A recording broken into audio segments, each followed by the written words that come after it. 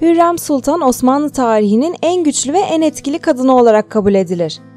Padişah eşlerinden hiçbiri Hürrem kadar ne kendi döneminde ne de günümüzde bu denli gündemde olmamıştı.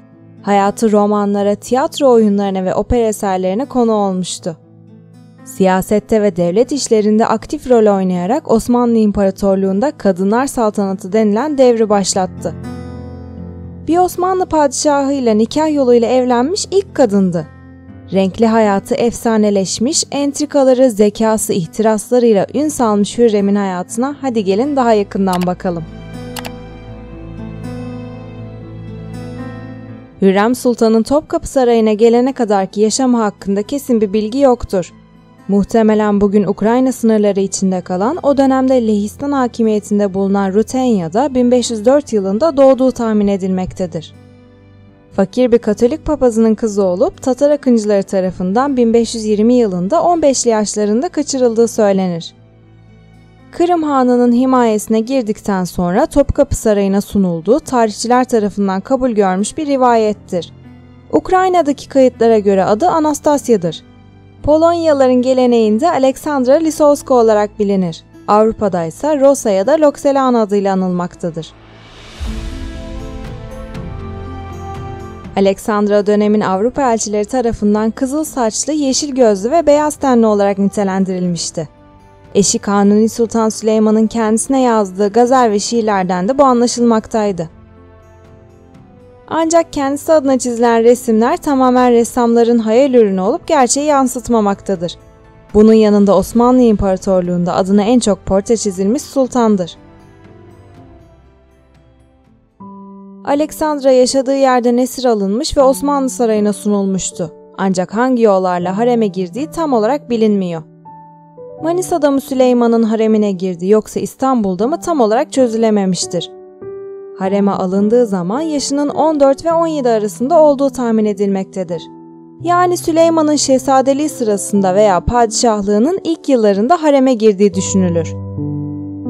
Yüzünde daima bir gülümseme havası olduğu için yeni bir isim verilirken bu özelliğinden dolayı Hürrem adı uygun görülmüştü. Haremde öne çıkmayı ve Kanuni'nin gönlünü kazanmayı başarmıştı. Saraya getirildiğinde Süleyman'ın Manisa valisiyken birlikte olduğu Mahidevran Sultan'dan Mustafa adında bir oğlu vardı. Bu şehzadenin tahta geçmesine kesin gözle bakılmaktaydı. Dolayısıyla sarayın en nüfuzlu kadını padişahın annesi olan Ayşe Hafsa Sultan, ikinci derece nüfuzlu kadını ise Mahidevran Sultan'dı. Herkes Haseki Sultan Mahidevran'ın padişah annesi olacağına ve haremin başına geçeceğine inanıyordu. Ancak işler çok farklı ilerleyecekti. Hürrem Osmanlı Sarayı'nda kısa sürede güzelliği ve zekasıyla sivrilerek padişahın gözdeleri arasına girmeye başardı. Haremin ileri gelenleri tarafından sevilen bir insan haline geldi. Bir yandan da Osmanlı örf ve adetleri, güzel sanatları konusunda özel eğitim alıyordu. Birçok kaynakta yazana göre çok zeki bir kadındı. Saraydaki önlenemez yükselişi padişahın gözde cariyesi Mahidevran Sultan'ın tepkisini çekti. Derken Hürrem Sultan'ın 1521 yılında Şehzade Mehmet isimli bir oğlu oldu. Böylece saraydaki konumu daha da sağlamlaştı. Mahidevran Sultan ile arasında kıyasıya bir rekabet oluştu. Hürrem bu mücadeleyi çeşitli entrikalarla kendi lehine çevirecekti. Mahidevran'la Hürrem arasında gerçekleşen bir kavganın sonucunda Hürrem Sultan'ın kötü bir şekilde dövülmesi Sultan Süleyman'ın gazabının Mahidevran'a yönelmesine yol açtı. Ve Şehzade Mustafa ile annesi Mahidevran Sultan padişah tarafından Manisa'ya gönderildi. En büyük rakibinin sürgüne yollanması Hürrem'in otoritesinin daha da artmasına yol açtı. Süleyman Hürrem'i kölelikten azat etti. Hürrem Sultan oğlu Şehzade Cihangir'in doğumundan sonra Kanuni ile görkemli bir düğün yaparak evlendi ve padişahla aralarında resmi nikah kıyıldı.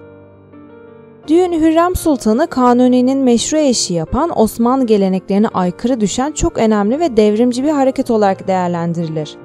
Bu nikahla Hürrem Sultan Osmanlı tarihinde padişah tarafından uzun süre sonra nikahlanan ilk cariye oldu.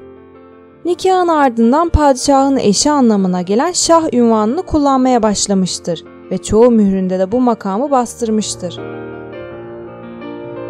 Hürrem Sultan Şehzade Mehmet'ten sonra Selim, Beyazıt, Cihangir ve Abdullah adlı dört tane şehzade ve Mihrimah adlı bir kız çocuğu dünyaya getirmiştir. Çocuklarını büyütürken ileride oğullarından birinin tahta geçmesi için önlerindeki engelleri kaldırabilmek adına elinden geleni yapacaktır. Süleyman'ın annesi Valide Hafsa Sultan'ın 1534 yılında ölümü üzerine Hürrem'in saraydaki etkisi daha da artmış ve harem yönetimini eline almıştır. Hürrem Sultan Osmanlı tarihinde devlet işleriyle ilgilenen ilk kadın olarak bilinir.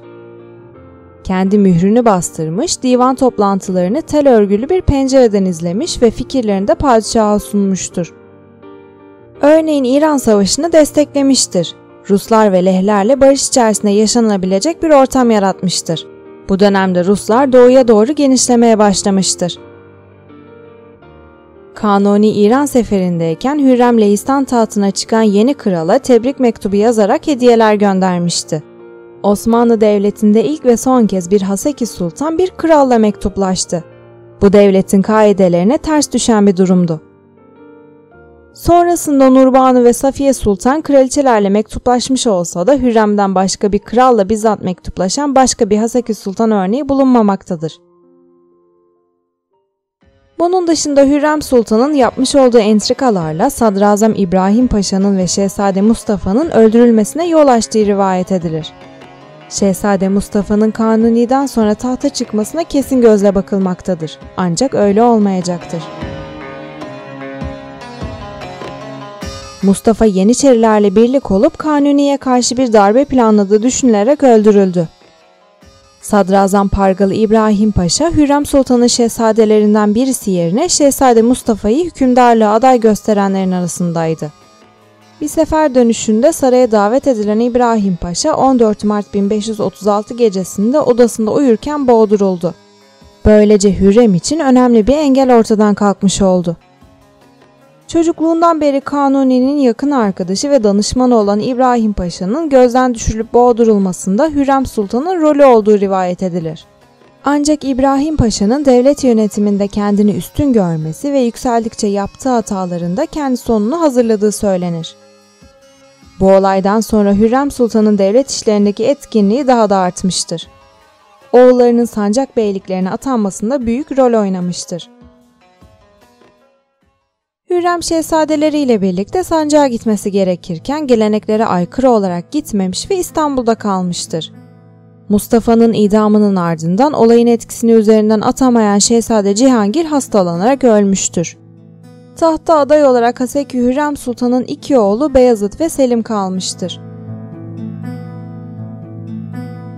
Oğullarını tahta varis yapmayı başaran Hürrem Sultan 15 Nisan 1558'de İstanbul'da hayatını kaybetti. Hürrem'in hastalanarak veya zehirlenerek öldüğü düşünülür. Büyük bir cenaze töreninin ardından Süleymaniye Camisi avlusuna gömüldü. Kanuni Sultan Süleyman karısının vefatından çok etkilenmiş ve uzun süre kendine gelememişti. Süleyman günümüzde İran'da bulunan bir şehrin ismini değiştirerek şehre Hürremabad ismini vermişti. Bu şehrin ismi günümüzde de hala aynıdır. Hürrem renkli hayatıyla efsaneleşmiş, entrikaları, zekası, cesareti ve ihtiraslarıyla ün salmış bir kadındı. Devlet işlerinde etkin rol oynayarak Osmanlı İmparatorluğu'nda kadınlar saltanatı denilen devri başlattığı kabul edilir. Benzer videolardan haberdar olmak için lütfen kanala abone olmayı unutmayın. Yeni videolarda görüşmek üzere.